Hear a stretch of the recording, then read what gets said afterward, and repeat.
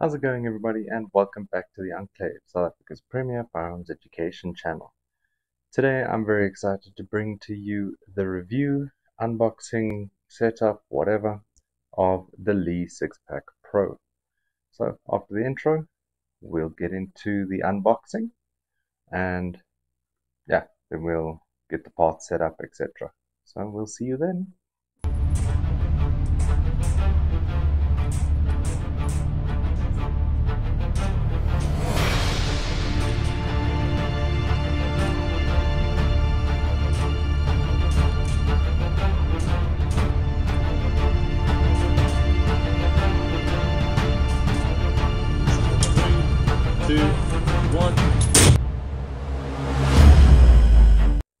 Okay, so here we have it with the opened box.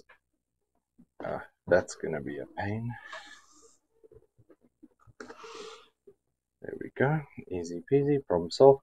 So, as we open this, we have our Lee 6-pack Pro kit manual. This is going to have all of your instructions, set up, all those sort of things. Uh, fortunately, with the 6-pack Pro, it's actually 90% assembled, um, if not more. So, yeah, next up we have this little section here that comes out, and in here there are a few more things. So, we have some more booklets.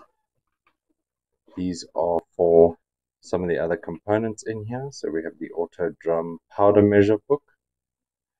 We also have the scariest thing to anyone with a spending problem like me, and this is the latest Lee catalog. Um, oh my. Anyways, that's terrifying. We might actually even go through that at some stage and uh, show you all the thousands that I'm going to be losing thanks to Lee. And then finally, we have our casing feed tubes and the spent primer tube. That is the one with the red cap on the end. It was initially uh, announced at the 2023 Huntex and basically stocking was crazy. Um, couldn't actually get one until sort of months after. And then, yeah, here we are.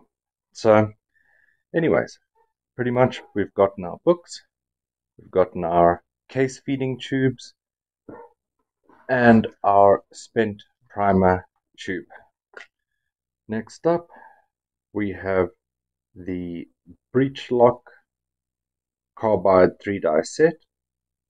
That includes your resizing die and your depriming, it's your yeah, depriming and resizing die, the powder through expanding die, and the bullet seat and crimp die.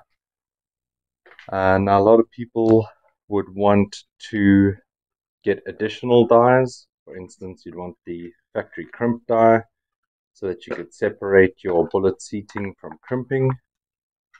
That is the inside of that kit. Um, but obviously that is for your discretion later on.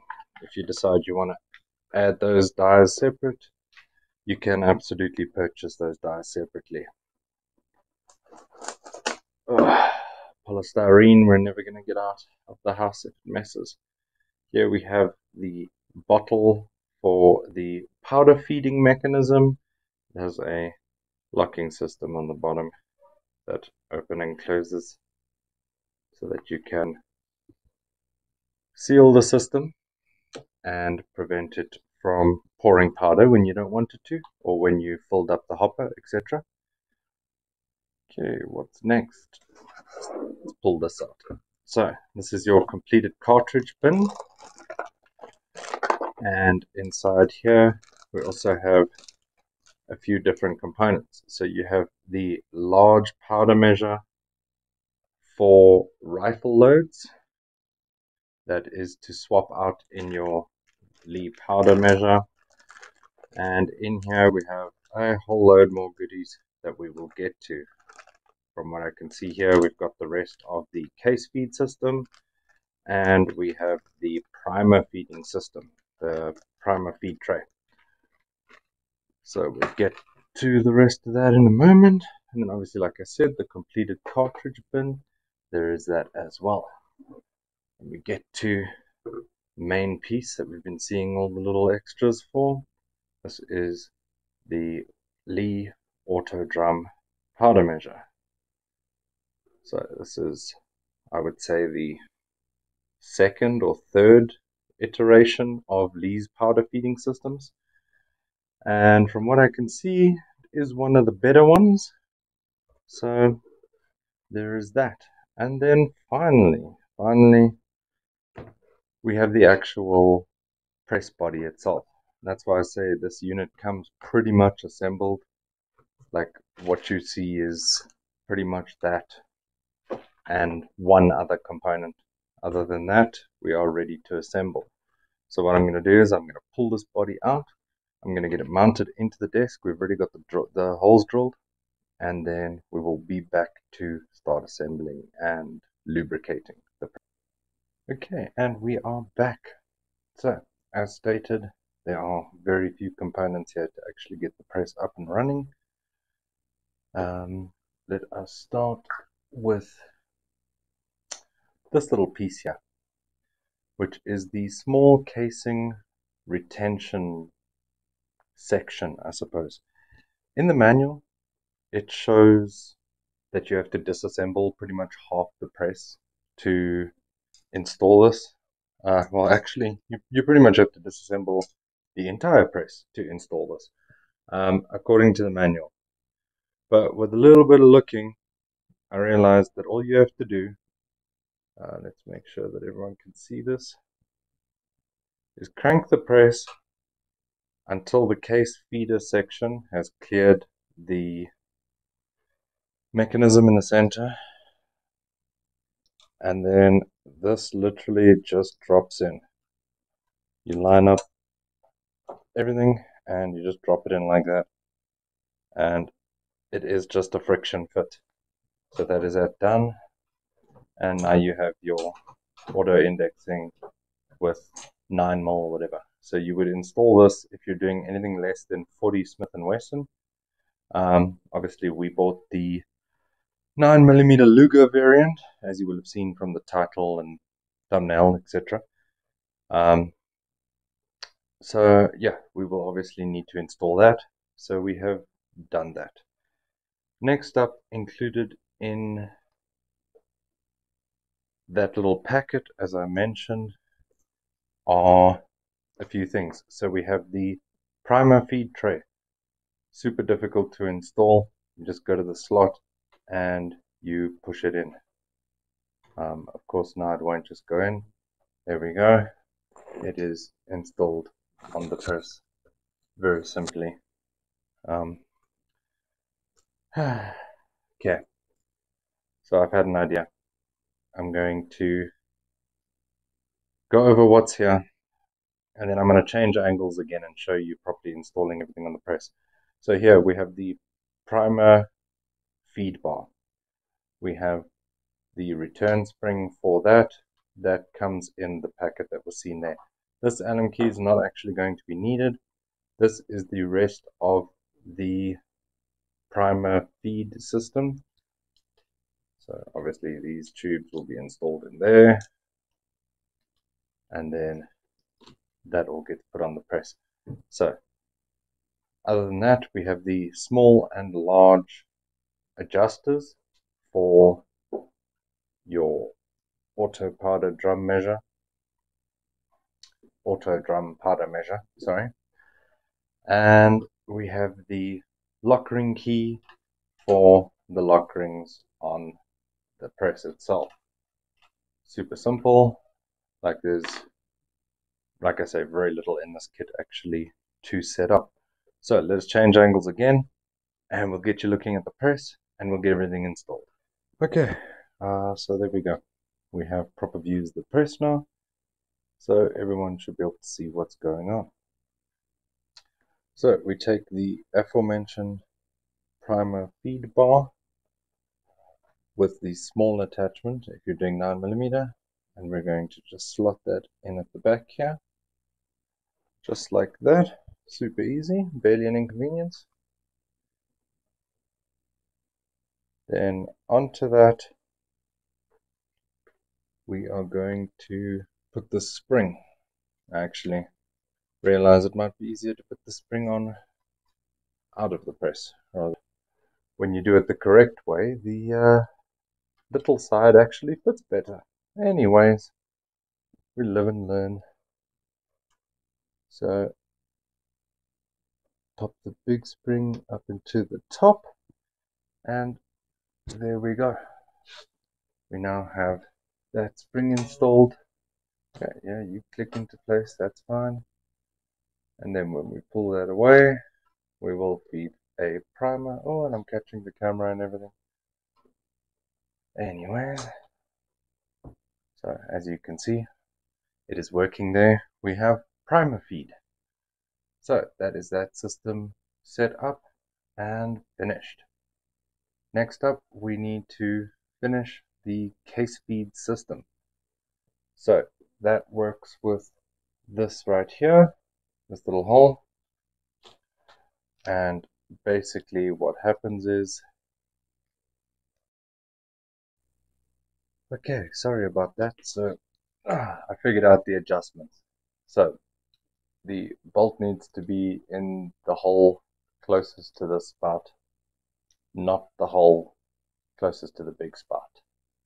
little spot, 9 mil big spot, bigger than 9 mil So then when we come to put this in now, everything will line up correctly. The press also needs to be at the top of its stroke, not at the bottom of the stroke as it was.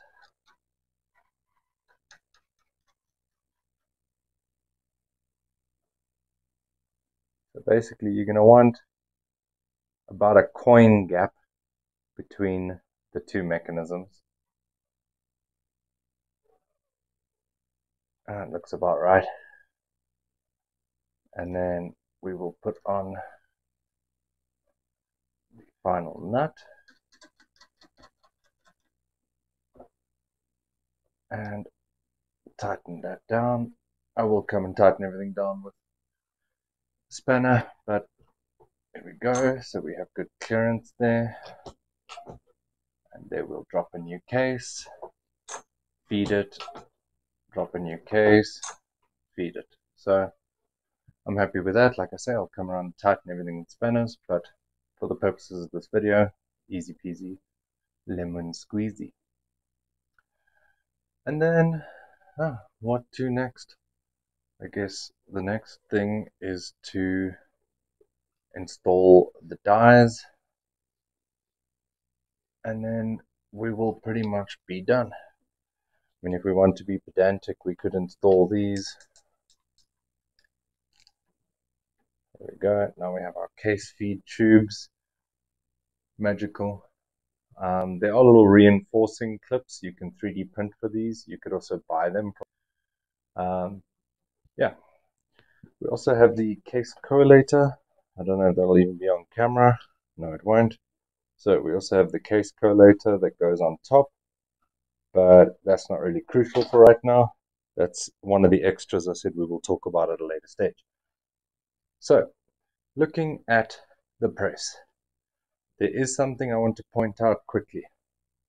If you want to use something like the Lee Bolt Buster that requires your press to not auto index, what you need to do is remove this station and remove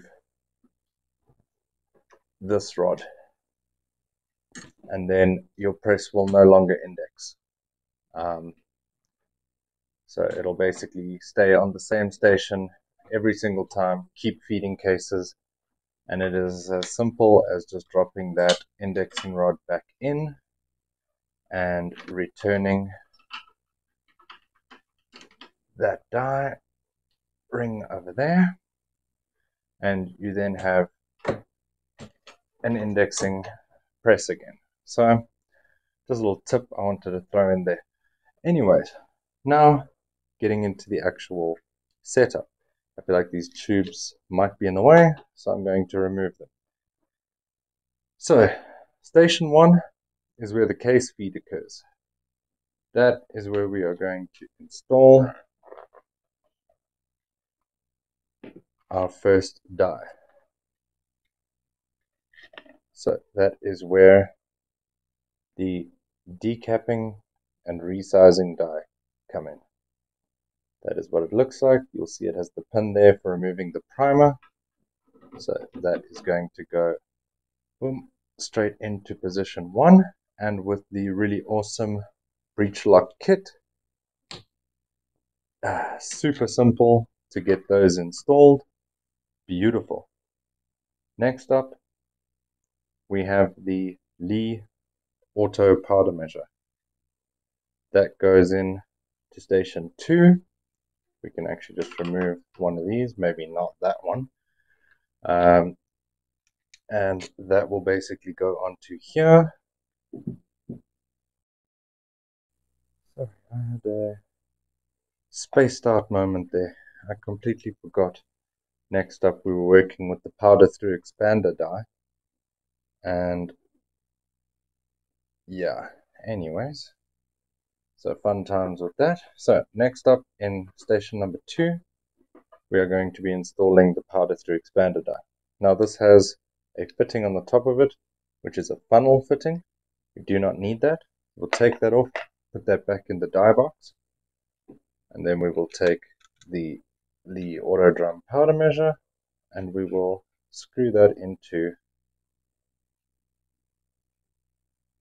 there we go into the second die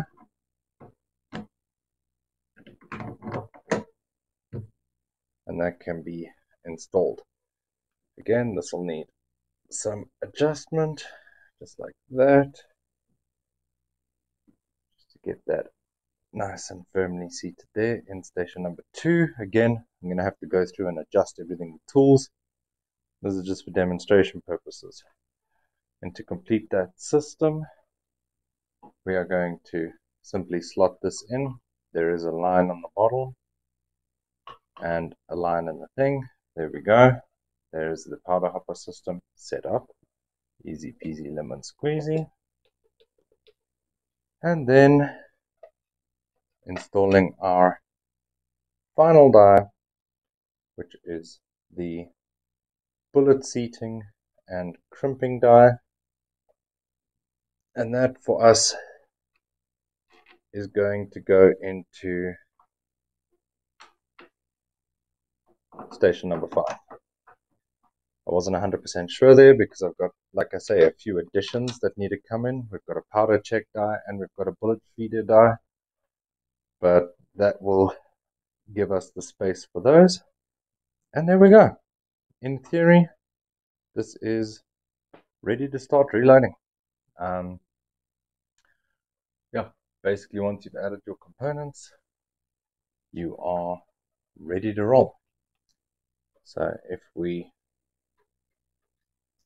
get everything installed there, fabulous. And we get the case collator there which is a pain so I might not do it. Yeah I might just leave it like that. Anyways. And yeah there we have it the full Lee six pack pro really doesn't take that long to set up I mean with me trying to record and get angles and things like that I mean, you guys saw how long this video was. That was in real time. So, yeah, really doesn't take that long to set up. And honestly, I think this is the best press that any reloader can buy. I think if money is no object, obviously there are better presses. I'm not a fool. But as far as bang for your buck, this thing is infinitely upgradable. We're going to have automated bullet feeding and automated case feeding on here within the next couple months. And then it's really no different from something like an RL 550 Dillon, which costs four or five times the price. So yeah, anyway, I'm super happy with the setup. Obviously, we're going to get everything dialed in, and then we'll get you some videos of us reloading. We'll do tutorials. We'll do reading load data. There's all sorts of videos I have planned for the reloading. Um, something I've been learning about for years now. I just never really had the resources and the time and things to get into it. But now that we do, here we have it. This was, to my research, the best press for every regular Joe reloader out there. Unless you're a millionaire, this is as good as it gets. Um, so yeah, anyways, hope you all enjoyed the video. Um, yeah, we will see you all very shortly. As always, if you have anything you'd like to ask or if there's anything you'd like to say, any comments you have, please leave them down below. Engagement really does help the channel grow. And yeah, as always, see you next time. Peace out.